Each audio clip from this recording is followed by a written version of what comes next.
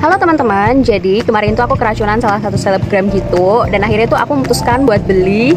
Karena ini dia Hydrating Face Wash by Sole Luna. Jadi aku penasaran banget karena aku merasa uh, Semua yang aku inginkan dari sebuah face wash Itu ada di Sole Luna ini. Teman-teman bisa lihat ini adalah skin condition aku sebelum aku pakai si Hydrating Face Wash by Sole Luna. Dan ini tuh isinya 100 ml gitu pakai kemasan tube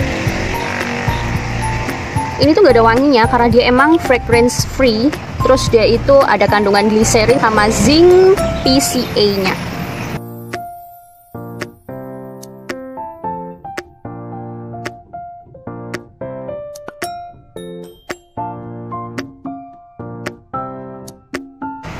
tekstur dia tuh bener-bener kayak air gini. Dan ini tuh lembut banget. Enak banget deh dipakainya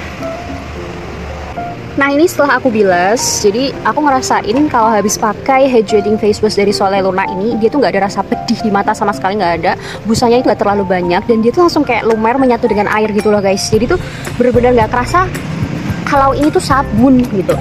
Dan wajah aku tuh sama sekali nggak ada rasa ketariknya, uh, rasa kering gitu nggak ada. Tapi ini tetap kerasa bersih karena dia itu tetap mengangkat kotoran sama minyak-minyak berlebih di wajah kita.